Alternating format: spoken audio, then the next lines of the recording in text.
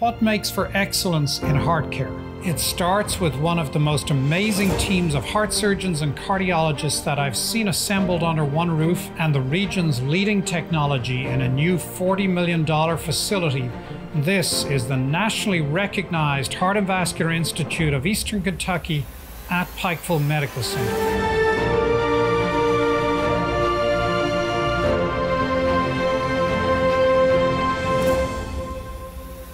The Veterans Referral Center in Paintsville will be holding a community yard sale on Saturday, April 15th. You know, it's spring, you know, it's starting to get nice weather.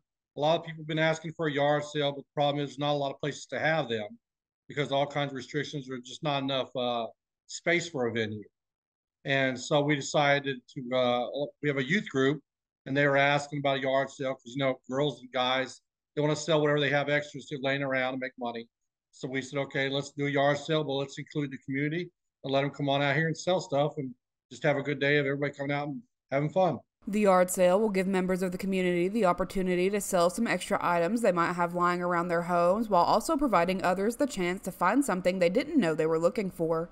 You know, a lot of people have a lot of stuff stored and they just want to get rid of some of this stuff. And, you know, other people could use the stuff they have uh, stored away.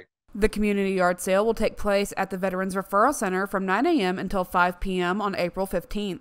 Those wishing to sell items at the yard sale must contact the Veterans Referral Center ahead of time to reserve a spot.